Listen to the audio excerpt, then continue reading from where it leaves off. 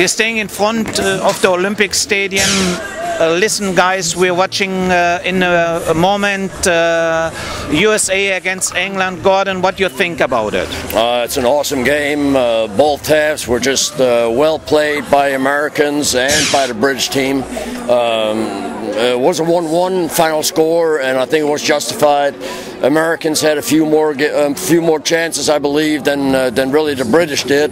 Uh, but more or less, I'm pretty satisfied with the 1-1. Yeah, Patrick, what do you think about it? I think it was a very nice match.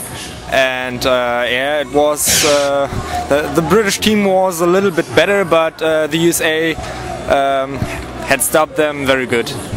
Uh, Gordon, we got some hope for the next round. Also, that means Slovenia and Algeria. Yeah. Normally, the teams the the USA have to beat. Yeah. And uh, uh, to arriving in the next round. What do you think about? Well, right now we got a point uh, um, uh, against England, and I think we are more than able uh, to beat Slovenia.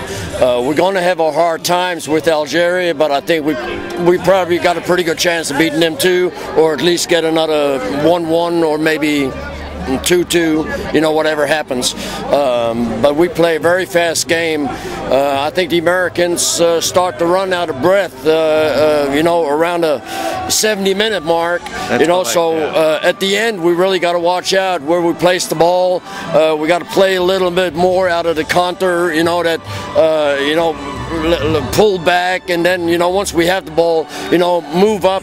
We we stick we stay a little too far back too. You know, we should move up a little more.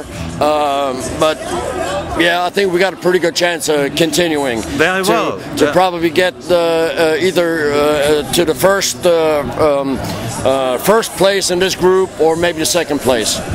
What do you think, uh, Patrick? Second place in this group, even when England beat Algeria and uh, Slovenia, it's a very good result. Yes, of course. Uh, I think USA uh, the second place. Yeah, yes. I think, I think it. Uh, they can uh, do it, and um, they must do it. Who is your best player on the American team today, in your opinion? O'Donovan. It was, he has played very, very well, and. Um, and he performed very well. Yes. Yes. What do you think? Who was the best player on the? Well, I'm going to have to go with uh, Donovan, uh, Donovan as well, but uh, uh, I gotta I gotta give my marks up to uh, Howard. I mean, Howard just was just I mean wonderful. I mean, you know, him having him in the goal, uh, you know, he saves us so many times.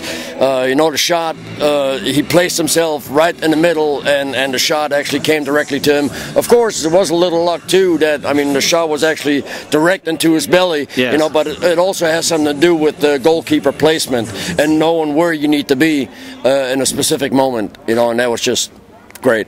Awesome. It is unbelievable, father and son watching the game uh, here in front of the Ber Berlin Olympic Stadium, and we're looking forward to see the USA uh, national team uh, uh, to beat Algeria and Slovenia. We're looking forward to it. Thank you very much, guys. All right, thank, thank you, you very much.